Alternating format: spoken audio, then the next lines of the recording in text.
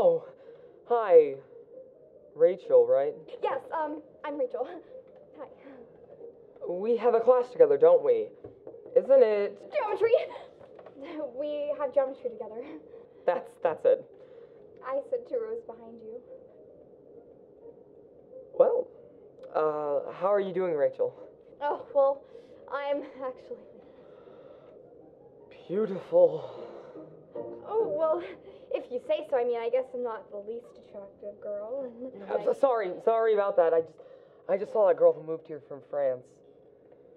Claire. Claire?